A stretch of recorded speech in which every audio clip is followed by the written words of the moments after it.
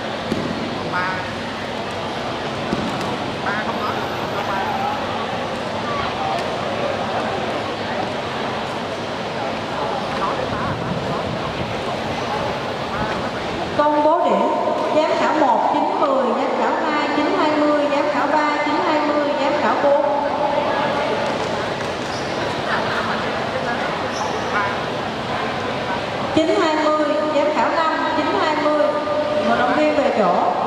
Mời và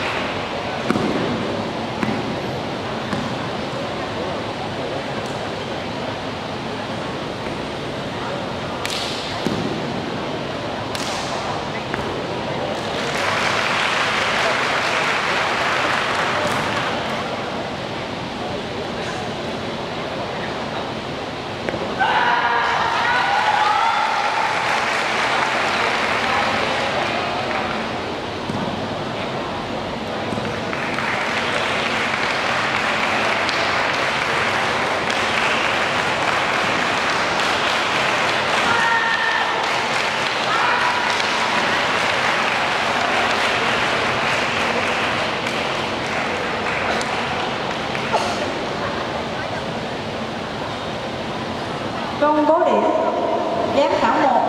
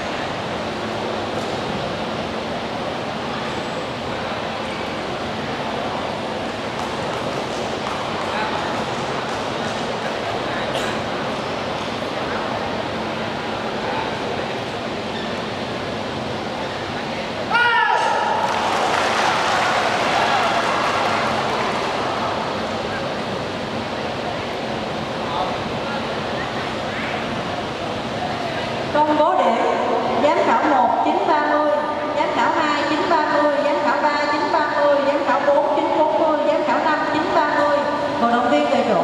Mời vận động viên Nguyễn Hoàng Duy Minh của huyện nhà bè.